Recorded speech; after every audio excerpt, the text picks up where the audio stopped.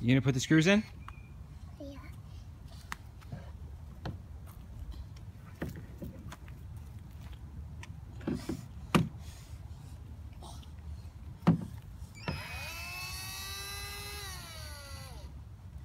There you go.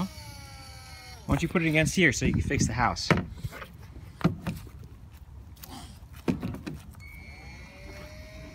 Good job, bud. There you go. Is it fixed now?